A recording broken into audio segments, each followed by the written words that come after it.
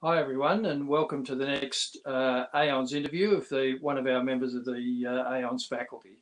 Tonight we have with us Jeff Segal, Australian trumpet player, who's, uh, as you'll hear in his story, played all over the world and has a really fascinating uh, life story. Welcome, Jeff.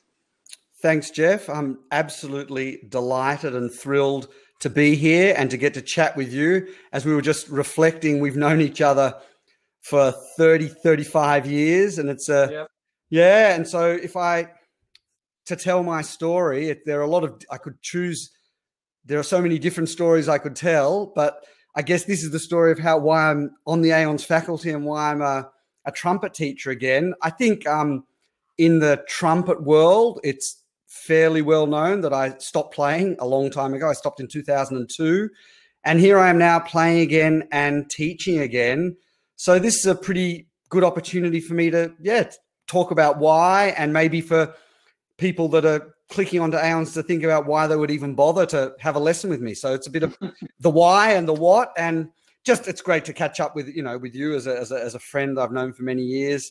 So I started playing the trumpet, I think it was 83 or 84. And my dad was a pretty amazing guy. And for my very first trumpet lesson, ever, he took me to Dan Mendelow. And so my first introduction to the trumpet was hearing, I didn't know then, but since then I've realized one of the very best trumpet sounds you will ever hear. And so the mm. first thing I heard was Dan's sound. And Dan didn't have time to take me on, and he sent me to hit one of his students, Paul Goodchild, who was in the SSO as well. And so I had the luck to learn from Paul and Paul's dad, Cliff, for a couple of years. And then I went back to Dan. And being a musician in Sydney in the 80s was pretty amazing. And Dan and so many people gave me so many opportunities. And I got the chance to learn from Dan and then go and hear him in the orchestra. And we used to go to every concert. And then later on, even when I was in year 12, I got to play Turangalila, which was a that's a whole story. That was the time that the opera house lights went out.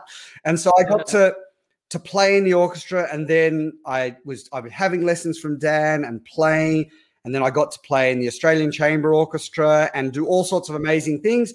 And then in 1990, it was time to go and seek my fortune. So off I went to Europe, and I landed in Basel, where I was really lucky to learn Baroque trumpet from Ed Tarr and to learn modern trumpet from Mark Ulrich.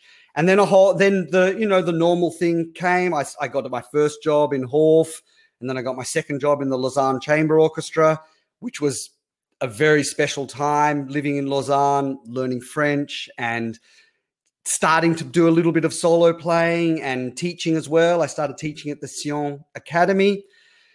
Then in 96, I got my job in Zurich as um, they call it solo trompeter and principal trumpet in the Tonhalle Orchestra. David Zinman was our boss. And that was pretty amazing amazing colleagues, fantastic conductors, a great hall. We toured a lot, and I got to, you know, I was there six years, principal trumpet, got to play a lot of the, the big repertoire. And at the same time, I was playing concertos around the place, got to do all sorts of interesting concerts. I was teaching as well. I taught for a couple of years at the Basel Conservatorium and my summer school in Sion. And I loved it. I really, I was I was 100% my identity was Jeff is a trumpet player and a trumpet teacher. And that was me. But I'd always kind of thought I would do something else. And then around 2001, 2002, my playing, I wasn't happy with it. It wasn't, it wasn't the level that I thought it should be. And I talked to David Zinman about having six months off, and that had kind of been agreed. And then you know, there was there was a Saturday morning we were doing Domestica, and this the the parari it wasn't coming out, and I mean I could have got a smaller trumpet, I could have got through, but something in me just said right, stop, and so from that Saturday morning, I uh, David wasn't very happy. I think he's forgiven me now. I hope David, if you ever see this, uh, and then I kind of said, well, look, I'm not coming back. I'm done, done. I didn't go back, and then I didn't play a note from then until, well, more than a decade later. I didn't play at all. And by then, I had, got, I was, I've been doing karate and yoga for a few years, but around 2000, I'd started training Tai Chi Chuan, Tai Chi, and Qigong and Shaolin Kung Fu. And I was really into that, as my um, colleagues in Zurich will remember. I was into that. And so I had something else that I was really interested in. So I started, I went down that rabbit hole and I trained a lot, traveled around Southeast Asia training, and I started teaching Tai Chi. Then I was lucky enough to meet my amazing wife, Lauren, and we traveled around the world in 2004. And then we, I came back and I'd never really been to uni. I did a bit of the con when I was a kid, but I hadn't really gone to uni. And the Chinese medicine thing appealed to me. I was into martial arts. So I thought, okay, I'll do a degree. So I did a double degree in Chinese medicine and human biology, five years full time, back to uni, which is a really interesting thing because I did my HSC in 86 and a lot of my dear friends, they were born that year that I was studying with. And that was pretty amazing. And then I had a had a new thing. I was the, you know, oh, Jeff's not a Jeff's a Jeff's a Tai Chi teacher and a Chinese medicine practitioner. And I had some amazing teachers in Chinese medicine as well. And did that for a few years, but uh, it was it was okay, but it wasn't really quite for me. And so, next rabbit hole was I did a, a teaching degree, a master's of teaching, and I started. I did a, a high school one actually, but then I started teaching in primary schools and did a number of roles. I did a couple of years at uh, Camberwell Primary, which is a bilingual school. So I was their science teacher, teaching all these primary school kids in French which is an interesting thing to do. and then last year, coincidentally with lockdown, but the government had launched this new uh, Victorian High Ability Program. So, you know, cut a long story short, I got my current job and I'm a leading teacher for maths doing this. It's an online program and I love it. And last year in lockdown, when we were, make, I wasn't, we weren't doing online lessons the first time, but we were doing videos for the kids. And so mm-hmm. I started just I don't know, the trumpet just came out and I started just making little little vids and and I realized, wow, this isn't this is okay. I quite like it. And now it's a, it's a little while, a month or so ago, my good friend Fabian rang me up and said, "Hey, you know, I'm doing Brahms too. Do you want to play?" And I said, "Yeah, I will, but I'm not playing first. And so he got he got this really nice um, girl called Sophie, and I did that, and and then I actually started practicing again, and I'm loving it. I'm really enjoying practicing. Mm-hmm. And I'm I realize that through all of my amazing teachers, and I haven't even talked about my connection with Håkan Hardenberger, who I met when he came to Sydney, and I had a fantastic, I would say, a proper apprenticeship with him through many years, through Håkan and Dan and Paul and Cliff and Mark and Ed. I really had some ideas and, of course, my own playing and I thought, well, I think t- I think I really think I can bring all of this together: the martial arts, the mm-hmm. meditation, the focus, the me as, as a teacher who listens to really what's going on, not just not just at a surface level.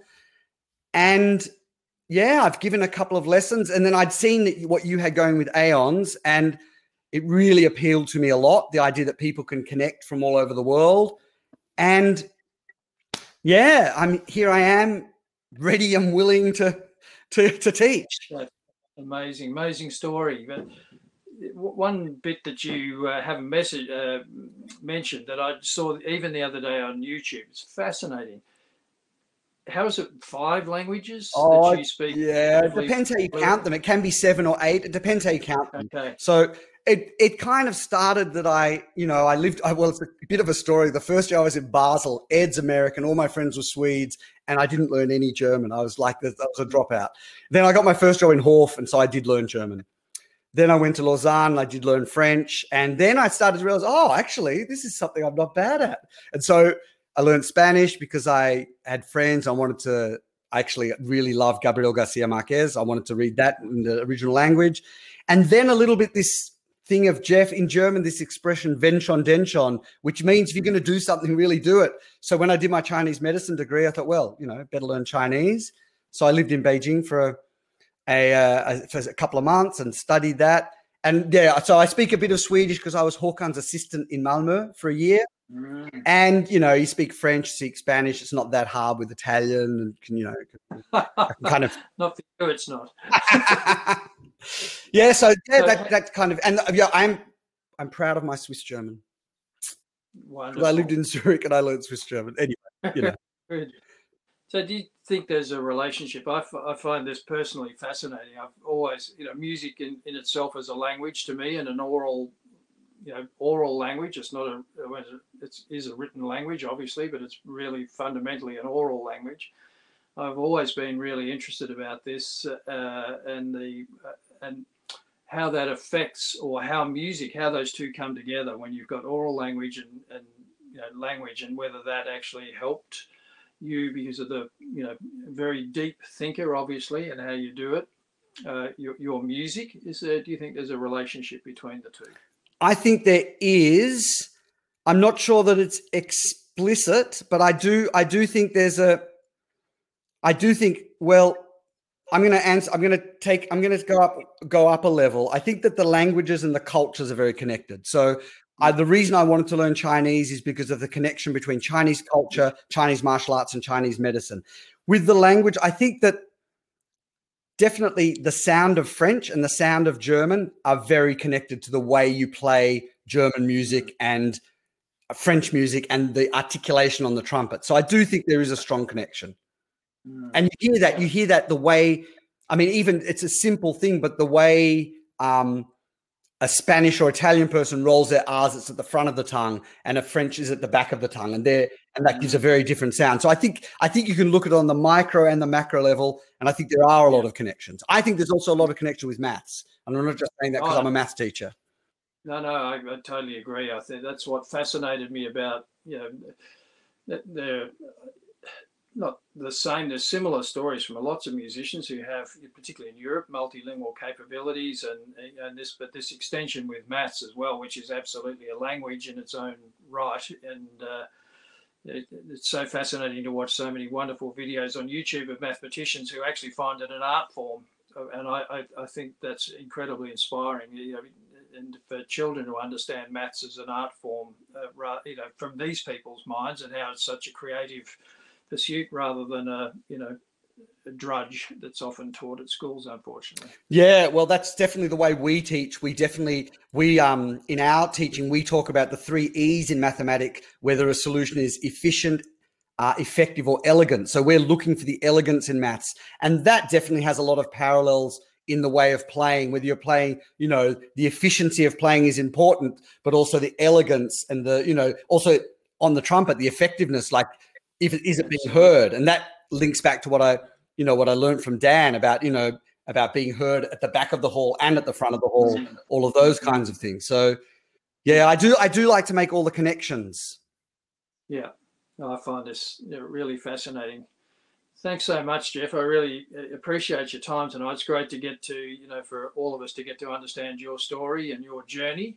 Is that uh, you know so often we can see um, the musicians up on uh, on Aeyons and just it's hard to understand exactly how they got there and all the different factors that actually go into to becoming a, a great musician. And uh, it's really wonderful to hear your story. So appreciate your time and please uh, go and uh, have a look at Jeff's profile at Aeyons and um, the, there's even a free consultation there, I think, where you can get to know each other, and uh, which is a great thing to do. Get to know each other, see how you work together, and it's a great first step to take. Thank you very much, Jeff. And I just would like to say I'm grateful to be part of the Aeyons faculty. When I saw the list of, um, it's it's a pretty illustrious list of trumpet players, and I'm very very proud to be to be to be on the faculty. So thank you as well. Thank you so much. It's wonderful to have you.